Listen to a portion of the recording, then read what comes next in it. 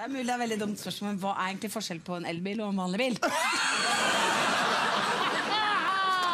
Det er ikke dumt spørsmål, det. Ingen spørsmål er dumme. Forskjellen er at Elbil. en vanlig bil bruker bensin Hun tuller ikke. når den skal frem. Men det er ikke så mange forskjeller som skal til. Det er ikke det.